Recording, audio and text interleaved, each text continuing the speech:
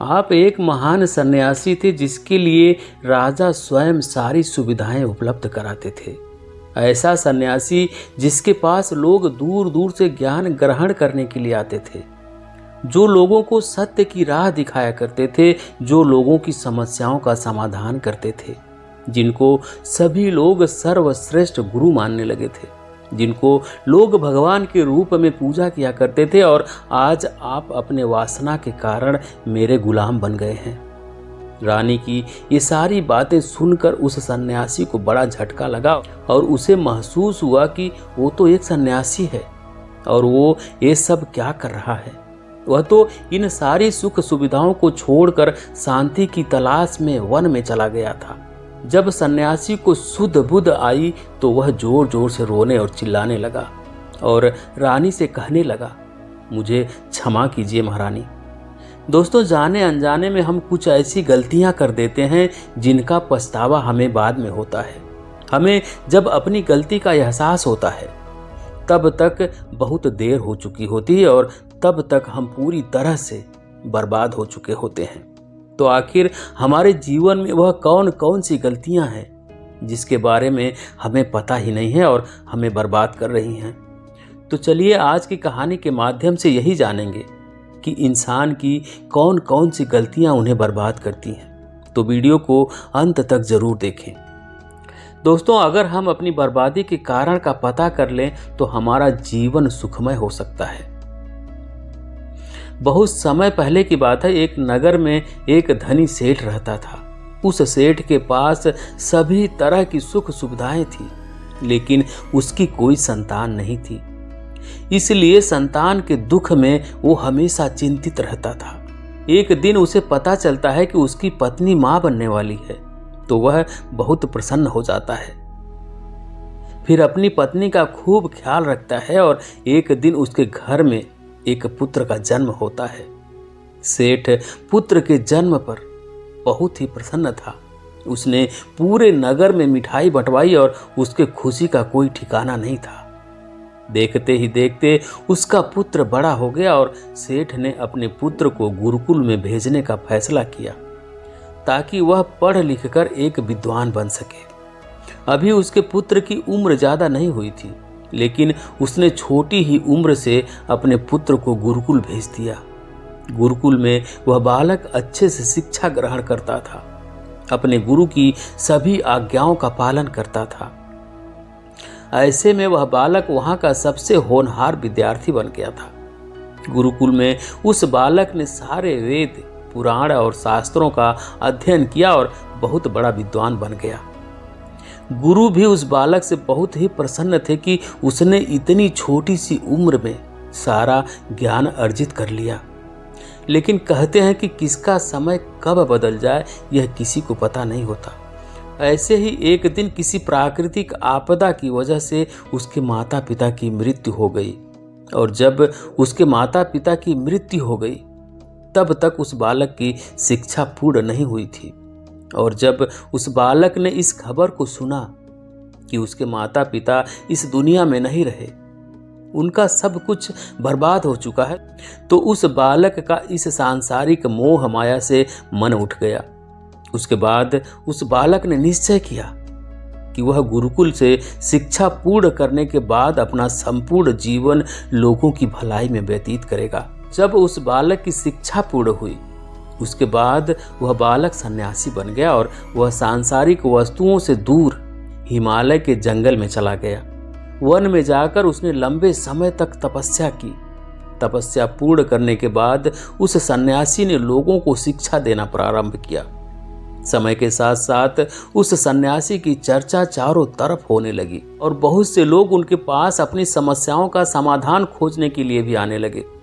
सन्यासी सभी लोगों की समस्या बड़ी ही आसानी से सुलझा देते थे, जिस वजह से वह पूरे राज्य में मशहूर हो गए थे। लेकिन जिस नगर में वह रहते थे, उस नगर का राजा बड़ा ही क्रूर व्यक्ति था। जब राजा को उस सन्यासी के बारे में पता चला तो उस राजा ने सन्यासी से मिलने का निश्चय किया। अगली सुबह राजा अपने महल से निकलकर उस सन्यासी से मिलने के लिए निकल गया। और सन्यासी के कुटिया के बाहर जा पहुँचा। वहाँ पहुंचकर जब राजा ने उस सन्यासी को देखा तो राजा उस सन्यासी को देखता ही रह गया। उसके चेहरे पर एक अलग ही तेज था। राजा पहली ही मुलाकात में उस सन्यासी के व्यक्तित्व से इतना प्रभावित हुआ कि उसने उसी समय से अच्छाई की राह पर चलने की ठान ली और मन ही मन सोचने लगा कि इतनी छोटी सी मुलाकात में यह सन्यासी मुझे इतना बदल सकता है तो अगर यह हमेशा मेरे साथ रहने लगे तो मेरी तो ज़िंदगी ही बदल जाएगी। और यही सोचकर राजा सन्यासी से महल में चलने का आग्रह किया। और यही सोचकर राजा सन्यासी से महल चलने की आग्रह करने लगा। राजा का आग्रह सुनकर सन्यासी मना नहीं कर पाए और वह चलने को तैयार हो गए। फिर राजा सन्यासी को लेकर राजमहल की ओर चल दिए। राजमहल पहुँचने पर राजा ने सन्यासी का खूब आदर सत्कार किया और उनके बाद राजाओं ने सन राजमहल पहुँचने पर राजा ने सन्यासी का खूब आदर सत्कार किया और उसके बाद राजा ने सन्यासी को भोजन करवाया। भोजन के बाद सन्यासी ने राजा को धन्यवाद कहा और राजा से जाने की अनुमति मांगी। यह सुनकर राजा ने कहा कि आप हमारे बगीचे में जब तक चाहे रह सकते हैं। आपको यहाँ पर किसी प्रकार की असुविधा नहीं होगी और आप यहाँ रहेंगे तो हमारी प्रजा को भी अच्छा लगेगा और हमें भी अच्छा लगेगा। यह सुनकर सन्यासी ने राजा का प्रस्ताव स्वीकार कर लिया। उसके बाद राजा ने सेवकों से कहा, उसके बाद राजा ने सेवकों से कहा कि सन्यासी महाराज के लिए बगीचे में रहने खाने इत्यादि का प्रबंध किया जाए। राजा की आज्ञा के अनुसार सेवकों ने एक सुंदर कुटिया का निर्माण किया। उसके बाद वह सन्यासी उसी कुटिया में रहने लगे।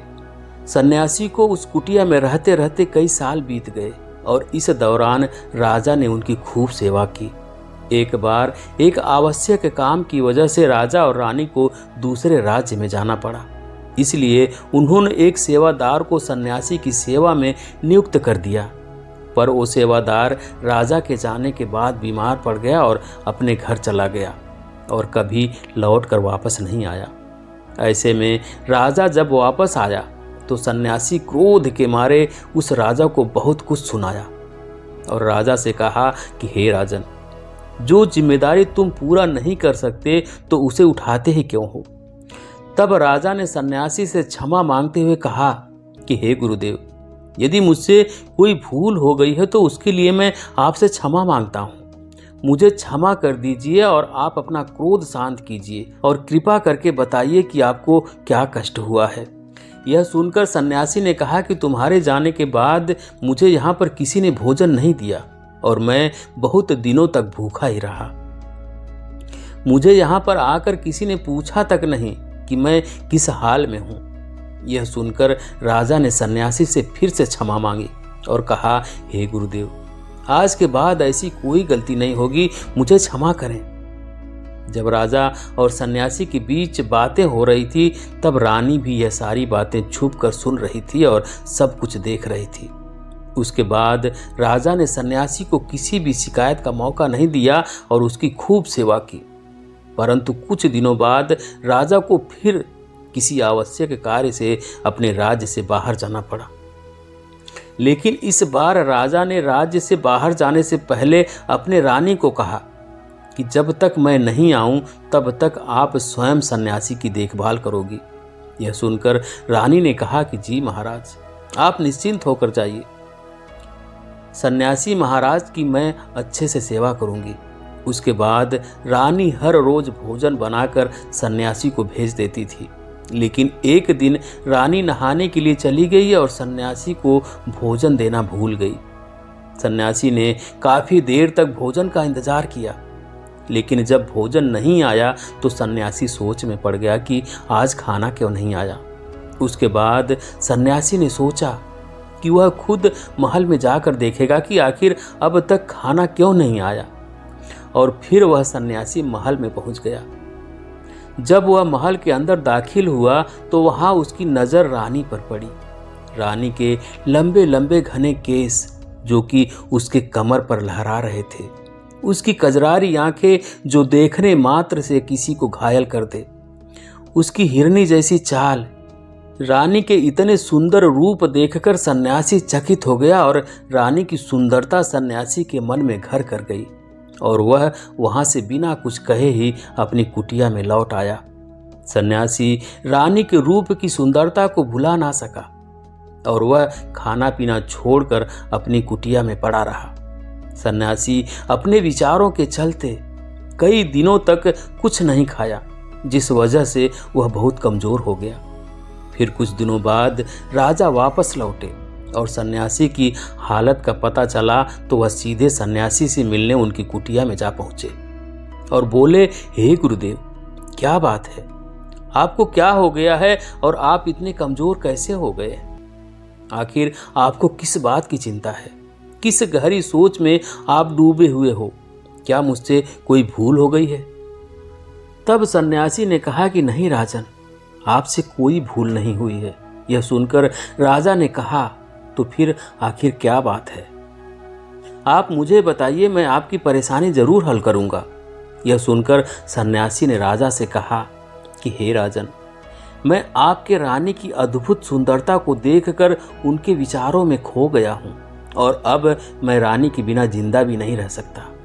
ये बातें सुनकर राजा बहुत हैरान हो गया और कुछ देर सोचने के बाद राजा ने उस सन्यासी से कहा मैं आपको रानी दे दूँगा। यह बात सुनते ही सन्यासी बहुत प्रसन्न हो गया। फिर राजा सन्यासी को लेकर राजमहल चले गए और जब राजा सन्यासी को लेकर महल पहुँचे, उस दिन रानी ने सबसे सुंदर वस्त्र पहनी हुई थी। फिर राजा रानी के पास पहुँचे और रानी से कहा कि आपको इस सन्यासी की मदद करनी चाहिए। यह बहुत कमज़ोर पड़ गए हैं और मैं नहीं चाहता कि किसी ज्ञानी पुरुष की हत्या का कलंक मेरे सर पर लगे। उसके बाद राजा ने रानी से पूछा कि क्या आप इस कलंक को अपने सर पर लेना चाहेंगी? राजा की आवाज़ सुनकर रानी ने राजा से पूछा कि आखिर इस सन्यासी के दुख का कारण क्या है? तब राजा ने रानी से कहा कि सन्यासी आपके अद्भुत सुंदरता के दीवाने हो गए हैं। राजा की यह बात सुनकर रानी ने कहा, राजन, आप चिंता ना करें। आप चिंता ना करें, अब आप सब कुछ मेरे ऊपर छोड़ दीजिए। मुझे पता है कि मुझे क्या करना है। उससे आपके ऊपर ना तो सन्यासी के हत्या का पाप लगेगा, और ना ही उससे मेरी पवित्रता का नाश होगा। रानी की यह बात सुनकर राजा ने रानी को सन्यासी को सौंप दिया। उसके बाद सन्यासी रानी को लेकर कुटिया में चले गए। कुटिया के अंदर दाखिल होकर रानी ने सन्यासी से कहा कि हमें रहने के लिए घर चाहिए। हम इस झोपड़ी में नहीं रह सकते। यह सुनकर सन्यासी ने राजा के पास गया और राजा से जाकर बोला कि, हे राजन, हमें रहने के लिए एक घर चाहिए। सन्यासी की बात सुनकर राजा ने उनके लिए घर का प्रबंध कर दिया। फिर सन्यासी रानी को लेकर घर पर पहुँचा। जब रानी सन्यासी के साथ उस घर पर पहुँची, तब रानी ने कहा कि यह घर तो बहुत गंदा है और इसकी हालत बहुत खराब है, मैं इस घर में नहीं रह सकती। यह सुनकर फिर से वह सन्यासी राजा के पास गया और राजा के पास जाकर बोला, हे राजन, आपने जो हमें घर दिया है, उस घर की हालत बहुत खराब है। सन्यासी की बात सुनकर राजा ने उस घर की हालत भी ठीक करवा दी। उसके बाद फिर रानी घर के अंदर गई और नहा धोकर बिस्तर पर आ गई और सन्यासी भी बिस्तर पर आ गया।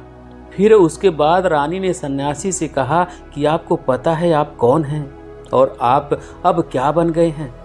आप एक महान सन्यासी थे जिसके लिए राजा स्वयं सारी सुविधाएँ उपलब्ध कराते थे।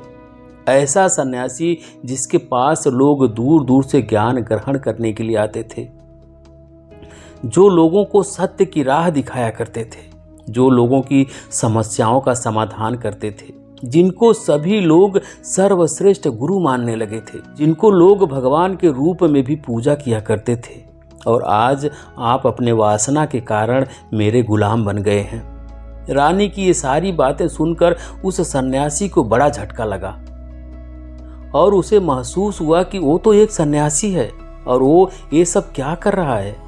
वह तो इन सारी सुख सुविधाओं को छोड़कर शांति की तलाश में वन में चला गया था। जब सन्यासी को सुध बुध आई तो वह ज़ोर ज़ोर से रोने और चिल्लाने लगा और रानी से कहने लगा, मुझे क्षमा कीजिए महारानी। मैं यह क्या करने जा रहा था? मैं अभी इसी वक्त आपको राजा को सौंप कर आता हूँ। सन्यासी की यह बात सुनकर रानी ने सन्यासी से प्रश्न किया कि, हे गुरुदेव मेरे मन में भी एक प्रश्न उठ रहा है। कृपया मेरे प्रश्न का उत्तर दीजिए। रानी की यह बात सुनकर सन्यासी ने कहा, पूछो, तुम्हारा क्या प्रश्न है? फिर रानी ने कहा, जब आपको उस दिन भोजन नहीं मिला तो आप बहुत क्रोधित हो गए थे। तब मैंने आपका यह रूप पहली बार देखा था और तभी से मैं आपके व्यवहार में परिवर्तन महसूस कर रही हूँ। ऐसा क्यों हुआ, गुरुदेव? आखिर आपको इतना क्रोध क्यों आया? आपने तो शांति की प्राप्ति कर ली थी। रानी की बातें सुनकर सन्यासी ने कहा कि जब मैं वन में था तो मुझे समय पर भोजन नहीं मिलता था। लेकिन जब मैं महल में आया तो महल में आने के बाद मुझे सारी सुख सुविधाएँ प्राप्त हुई और फिर मैं इन सुख सुविधाओं का आदि हो गया और मुझे इसके प्रति लगाव उत्पन्न हो गया। और फिर मुझे इसको पाने का लालच उत्पन्न हो गया। और जब मुझे यह नहीं मिला तो मेरे अंदर क्रोध उत्पन्न हो गया। फिर सन्यासी ने कहा, महारानी, अगर इच्छा पूरी ना हो तो क्रोध उत्पन्न होता है। और अगर इच्छा पूरी हो जाए तो लालच बढ़ जाता है। सन्यासी ने आगे कहा, यह इच्छा की पूर्ति ही मुझे वासना के द्वार पर ले आई और मैं आपके प्रति आकर्षित हो गया। इसके बाद वह सन्यासी रानी को लेकर राजा के पास पहुँचा। और बोला, हे राजन, मुझे क्षमा कर दीजिए। मुझे अपनी गलती का एहसास हो गया है। यह लो, आपकी रानी मुझे यह सब नहीं चाहिए। मैं अपनी इच्छा में वसीभूत होकर यह गलत कार्य करने जा रहा था और अपने जीवन को बर्बाद कर रहा था। लेकिन अब मुझे सब कुछ समझ आ गया है। उसके बाद उस सन्यासी ने कहा कि, हे राजन, मनुष्य के बर्बादी का कारण उसकी चार आदतें बनाती हैं। और दुनिया के हर एक व्यक्ति के अंदर यह चार अवगुण होते हैं। लेकिन जो उस पर नियंत्रण पा लेता है, वह दुख और परेशानियों से बच जाता है। और वहीं जो व्यक्ति इन चार दोषों पर नियंत्रण नहीं कर पाता है, वह बर्बाद होने के कगार पर पहुँच जाता है। यह सुनकर राजा ने कहा, हे गुरुदेव, आप मुझे वह चार आदतें बताइए जिससे मनुष्य की बर्बादी हो जाती है। फिर सन्यासी ने राजा को मनुष्य को बर्बाद कर देने वाली चार आदतों के बारे में बताया कि हे राजन, मनुष्य को बर्बाद करने वाली पहली आदत है उसकी इच्छा। क्योंकि इच्छा ही दुनिया के हर एक व्यक्ति के अंदर पहला अवगुण होता है। और जो व्यक्ति अपनी इच्छाओं को नियंत्रण में नहीं रख पाता है, वह जीवन में किसी भी जगह सफल नहीं हो पाता है।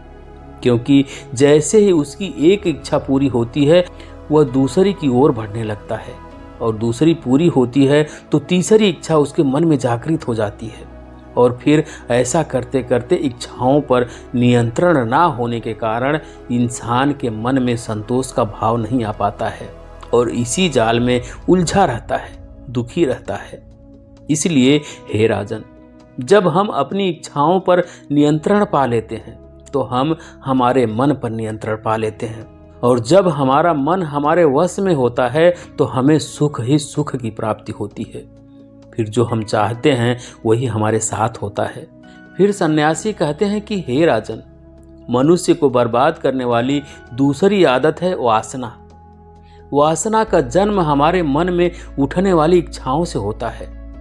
जिस प्रकार इच्छाओं का कोई अंत नहीं होता है, उसी तरह मनुष्य वासना के जाल में फंसता ही चला जाता है।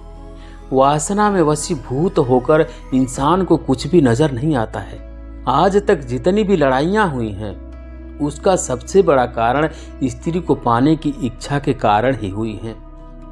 स्त्री के प्रेम में वसीभूत होकर कई राजा महाराजा तो युद्ध में इसलिए हार गए क्योंकि वह लोग स्त्रियों से रास लीला रचाने में ही रह गए।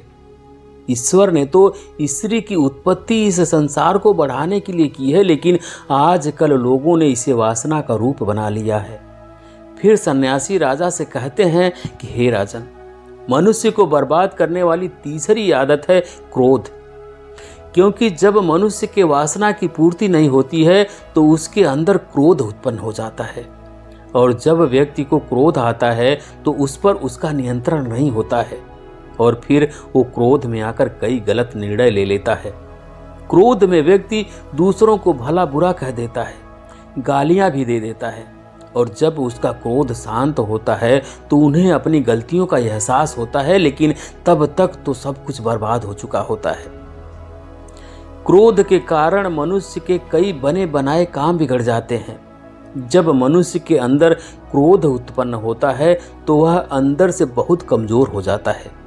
और एक कमज़ोर मनुष्य जीवन में कुछ नहीं कर सकता। उसे कभी भी सफलता नहीं मिल सकती।